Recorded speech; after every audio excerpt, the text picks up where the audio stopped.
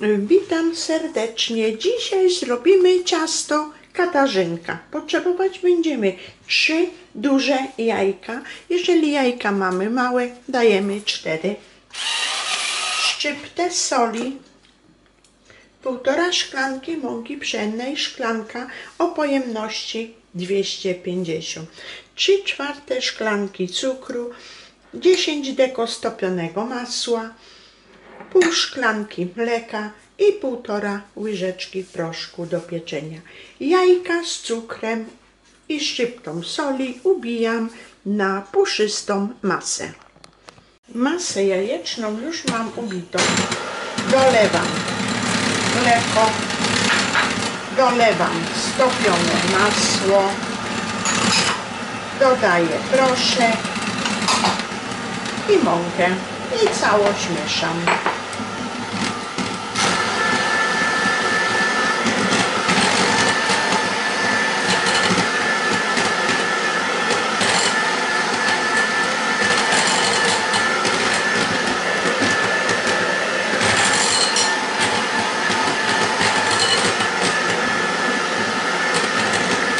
Tak. I tak ciasto wykładam do formy. Forma 17 na 27 cm jest wyłożona papierem do pieczenia. I ciasto będziemy piekli około 35 minut w 170 stopniach. Powierzchnię ciasta wyrównuję i ciasto wędruje do piekarnika. A później przygotujemy krem.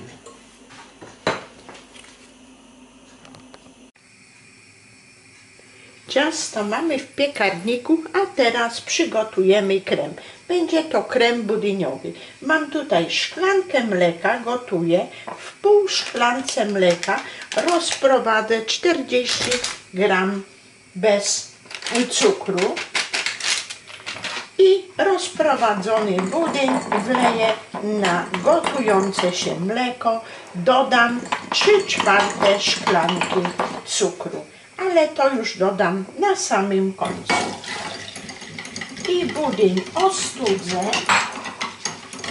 i później mam tutaj 20 deko masła, utrę masło do białości i będę dodawała po łyżce budyniu.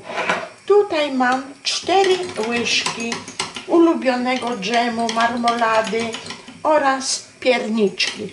Przepis znajduje się na moim kanale, na który serdecznie zapraszam, a możemy kupić gotowe pierniczki i też wykorzystać do tego ciasta.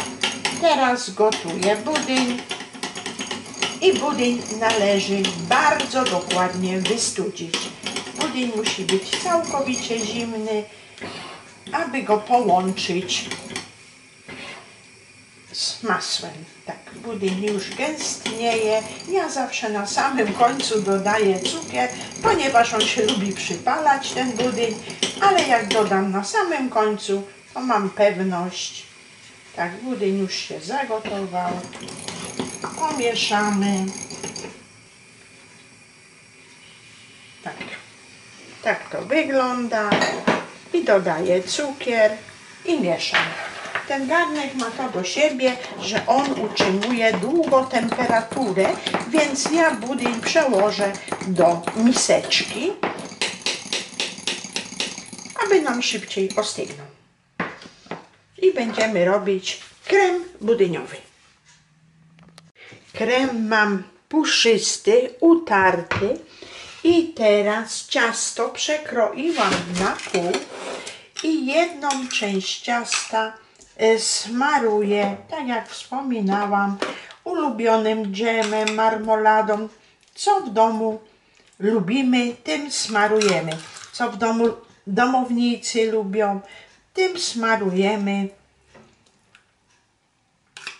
Rozprowadzamy po całym cieście, aby cała powierzchnia była posmarowana. U mnie już jest. I teraz wykładamy pierniczki. Też wykładamy całą powierzchnię. Pierniczki mogą być gotowe, mogą być tak jak ja, że włas, sama sobie upiekłam. Także to już dowolność.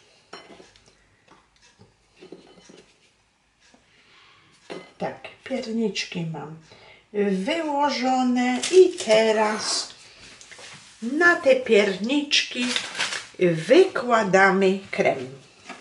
Część kremu zostawię na wierzch, ale niewielką ilość, tak jedną trzecią, a pozostały wyłożę na pierniczki.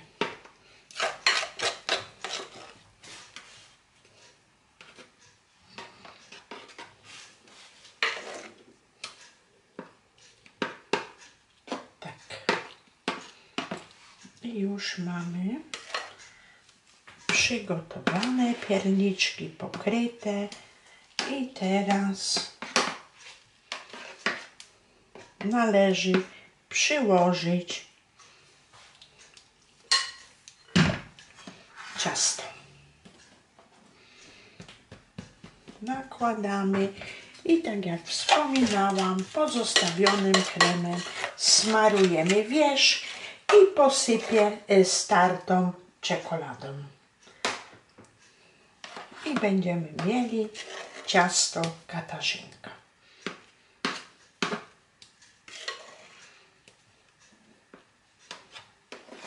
Tak. Ciasto damy do lodówki na minimum dwie godziny. Najlepiej na całą noc, ale dwie godziny też wystarczą. Tak. I ciasto mam przygotowane. I teraz opruszam czekoladę. Całą powierzchnię. i ciasto daję do lodówki. Ciasto Katarzynka wędruje do lodówki. I tak oto wygląda ciasto Katarzynka. Ukroimy kawałeczek.